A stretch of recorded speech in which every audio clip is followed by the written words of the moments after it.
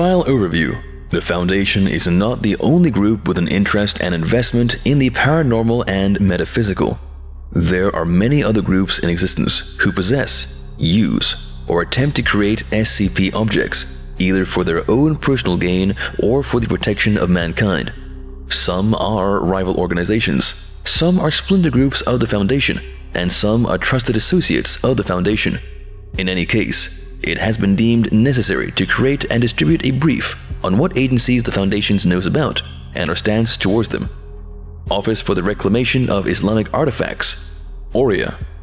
Overview The Office for the Reclamation of Islamic Artifacts, ORIA, is a paramilitary force answerable only to the Supreme Leader of Iran, dedicated to the collection and utilization of anomalous artifacts throughout the Middle East and Central Asia.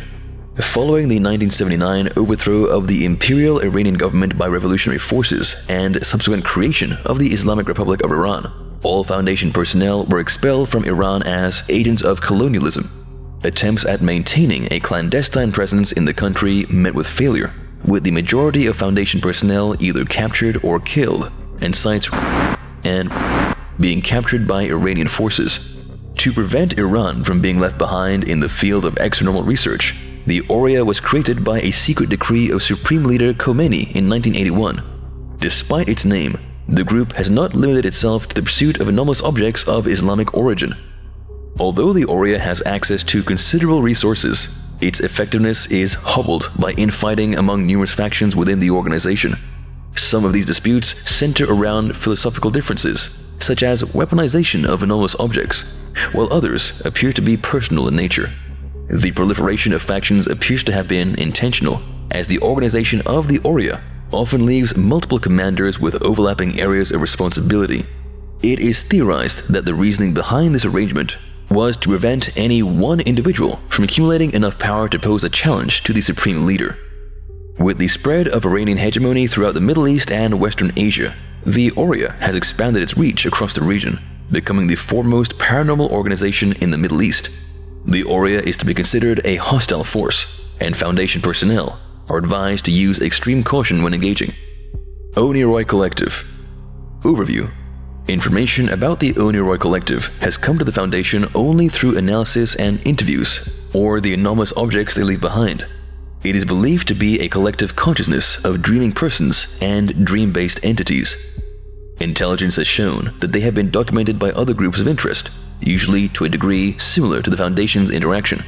The Oneiroi Collective is apparently capable of contacting even highly isolated entities, e.g., nobody. Their goals, if any exist, are currently unknown.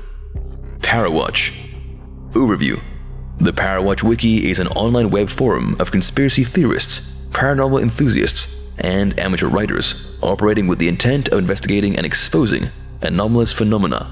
The group primarily compiles short stories on the forum, detailing encounters with paranormal phenomena, historical cases, and any unusual events users have experienced.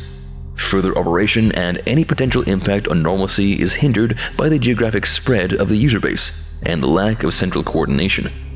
Despite investment in the paranormal, Parawatch has no knowledge on the nature of anomalous phenomena, the Veil, and the Foundation's existence.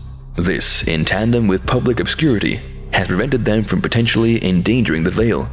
The group is currently being left active as a means of misinforming and misleading other investigations into the anomalous.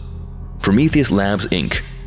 Overview Founded in 1892, Prometheus Labs was dedicated to researching anomalous objects for use in developing new technologies. Over the years, Prometheus Labs developed into a multinational conglomerate selling advanced and anomalous technologies to governments, militaries, and groups of interest. Throughout its history, Prometheus Labs displayed a nominal amount of cooperation with Foundation efforts to protect normalcy, and at times even collaborated with the Foundation, but refused to cease its studies of anomalies and resisted Foundation oversight. In 1998, following a long period of financial decline, the Prometheus Labs conglomerate was dissolved, resulting in the creation of numerous successor companies formed from its subsidiaries. The breakup of the conglomerate was fraught with technical and administrative difficulties, resulting in the loss of many products and the layoffs of numerous personnel. Most of the former projects of Prometheus Labs, now in containment, were recovered during this time, and many of its former employees were hired by the Foundation. End of file. To learn more about the SCP Foundation, subscribe to SCP Orientation today and turn the notification bell on so you don't miss any of our videos.